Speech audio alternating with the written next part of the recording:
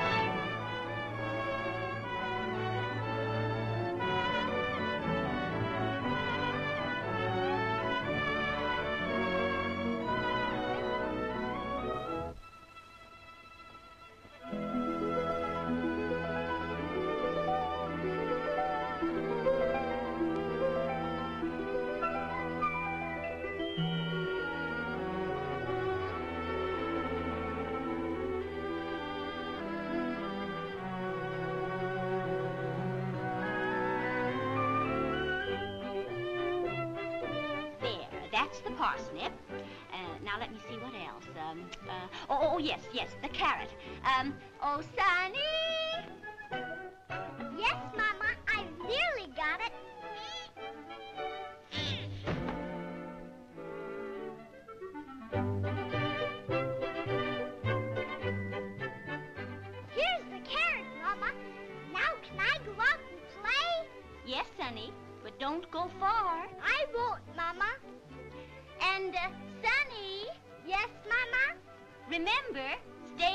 Close to home.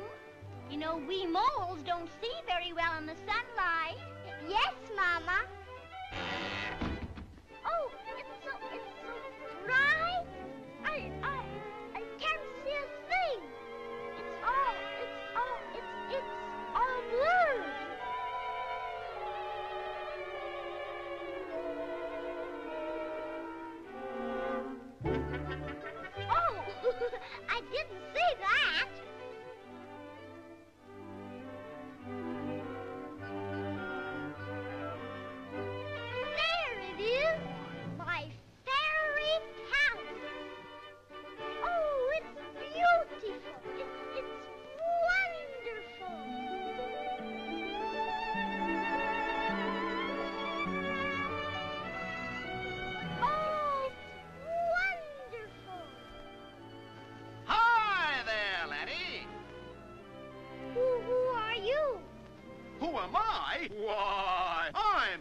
Primrose Skunk with a line of junk. At my trade, you'll always find me. Hello, Sonny. What you looking at? I'm, I'm looking at my fairy palace. oh, yes, your ferret. My young friend, you need glasses. Now I have here.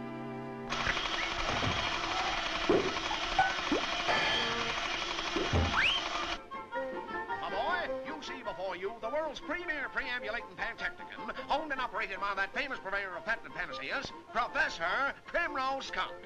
Leo. Now you sit right here, laddie. Now, can you read the letters on this chart? What chart? Hmm, yes, yes, just as I thought. well, we'll just consult Professor Skunk's rotary optic neutralizer. Round and round and round it goes. Where it stops, nobody knows. Here we are. Number 17 is the lucky winner. Number 17. Just what you need. yes, yes, just what you need. Oh, I can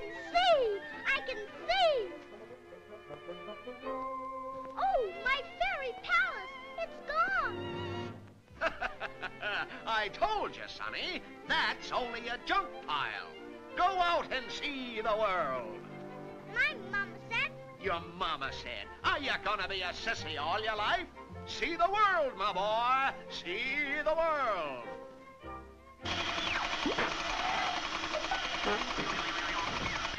Oh, I get my pay and I'm on my way, and a sucker is left behind me.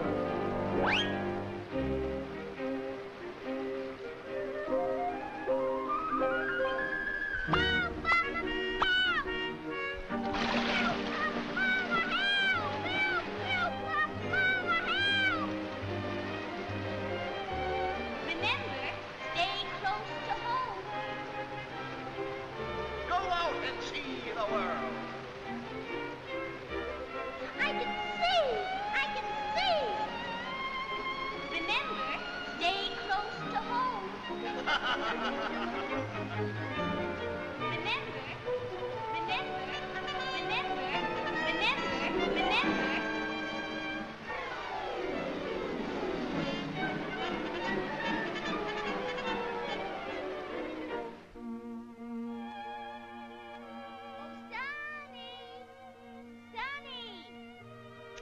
I wonder where he's got to.